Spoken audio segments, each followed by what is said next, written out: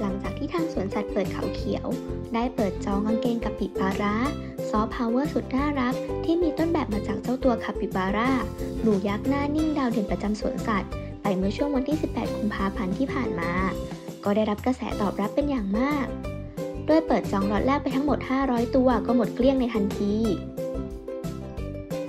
กระแสของกางเกงคาปิบาราที่มาแรงแล้ว กระแสของกิจกรรมให้อาหารตัวคาปิบาร่าแบบใกล้ชิด ก็เป็นที่นิยมไม่แพ้กัน โดยได้เปิดให้อาหารเจ้าหนูยักษ์เป็นวันแรกไปเมื่อวันที่ 17 กุมภาพันธ์ที่ผ่านมานั่นเอง ซึ่งนอกจากการได้เข้าไปให้อาหารแล้ว ยังสามารถมาถ่ายรูป เก้าวคาง จกพุง เหล่าแก๊งหนูยักษ์หน้านิ่งกันได้แบบใกล้ชิดอีกด้วย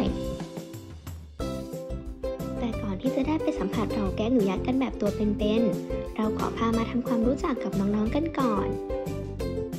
โดยคาปิบาร่าหรือเจ้ากะปิบาร่าของทุกคน เป็นสัตว์เลี้ยงลูกด้วยนม ประเภทสัตว์ฟันแท้ที่จัดว่าใหญ่ที่สุดในโลก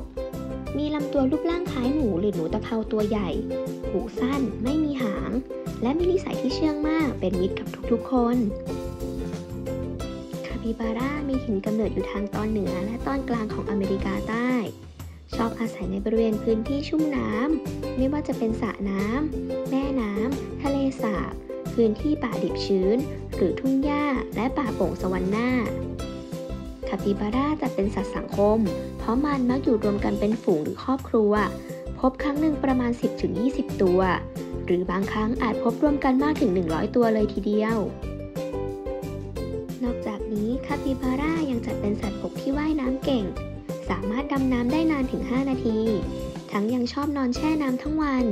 แม้ในเวลาขับถ่ายหรือผสมพันธุ์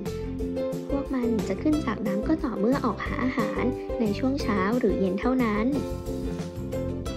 หากใครอยากมาชมความน่ารักของเจ้าหนูอยากหน้านิ่งแล้วแล้วก็ ที่สวนสัตว์เปิดเขาเขียว ถือเป็นอีกหนึ่งสถานที่ที่ต้องมาให้ได้ รับรองว่าจะต้องตกกลุ่มรักเจ้ากะปิปาร้ากันอย่างแน่นอน